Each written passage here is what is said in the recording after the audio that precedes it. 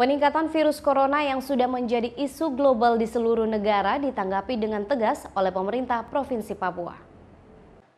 Bertempat di salah satu hotel di Papua, diadakan rapat koordinasi yang dihadiri oleh seluruh pemangku kepentingan yang ada di Provinsi Papua, mulai dari Sekda Papua, Ketua DPRP, Ketua MRP, Kapolda Papua, Kapendam, dan Lanut, dan Lantamal, dan seluruh ketua dewan di masing-masing komisi yang ada di Provinsi Papua, serta pimpinan BUMN dan BUMD yang ada di Papua, guna membicarakan tentang antisipasi virus corona di Papua.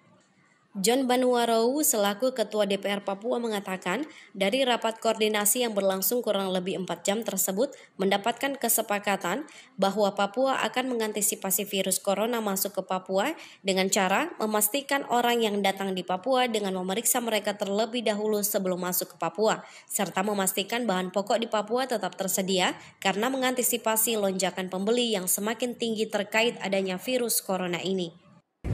Kalau kita semangat untuk uh, lockdown, apa kondisi kita sudah siap atau tidak? Jadi kan makanya kita cek semua kebutuhan kita, kesehatan kita, dan bagaimana langkah-langkah kita ke depan. Saya pikir semua wartawan dari lihat kita. Yang terpenting bahwa kami ada beberapa putusan yang terjadi, di mana kita ingin semua orang yang masuk dilakukan tes lebih awal di atas pesawat maupun di kapal.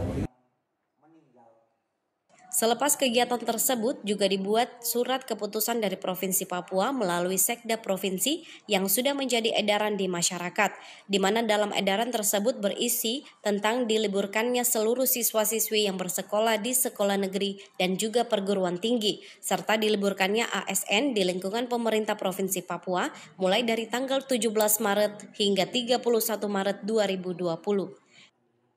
Untuk beberapa hari ini kita ikuti dulu perintah Bapak Presiden dan juga ada edaran dari uh, Menpan, Menteri Dalam Negeri dan juga BKN. Dan ini tentunya juga eh, teman-teman uh, ada kota Jayapura sudah melakukan itu. Tapi uh, hari ini Provinsi Papua secara resmi yang nanti uh, ditantangkan oleh Bapak Wagub untuk menyampaikan seluruh kabupaten kota uh, dan juga uh, instansi vertikal lainnya untuk mengikuti apa yang di, disampaikan oleh gubernur. Dari kota Jayapura, Roli Ainus Jayapura melaporkan. Beberapa berita dan informasi menarik lainnya masih akan kita hadirkan untuk dong pemirsa.